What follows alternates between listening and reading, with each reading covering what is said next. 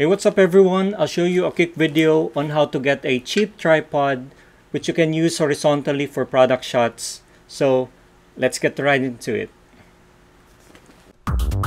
So this is the good old Benro A500EX which I have been using for almost 8 years. It's cheap and less than $100 tripod. It's quite sturdy and reliable for its price.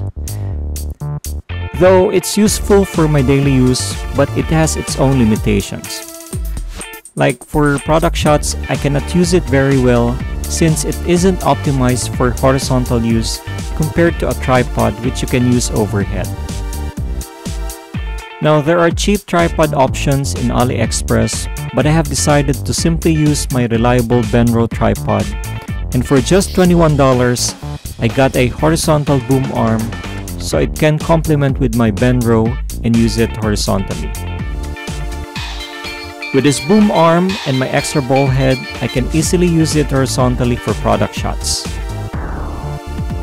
I have used though a 3-8 adapter which you can get very cheap to connect the boom arm to your tripod.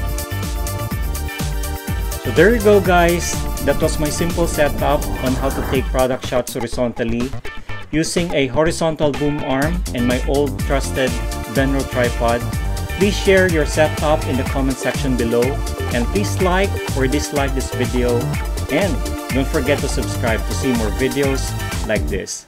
Thank you.